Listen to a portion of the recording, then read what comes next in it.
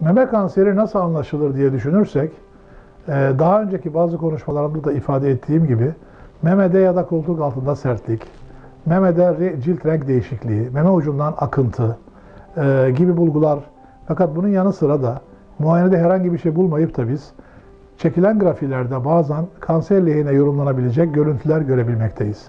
Dolayısıyla e, bunların hepsi meme kanseri olduğunu düşündürür. Ama şunu da söyleyeyim, e, memede kitle görüldüğü zaman illaki kanser anlamına gelmiyor. Ama hasta ne kadar ileri yaştaysa o kadar kanserden şüphelenmek gerekir.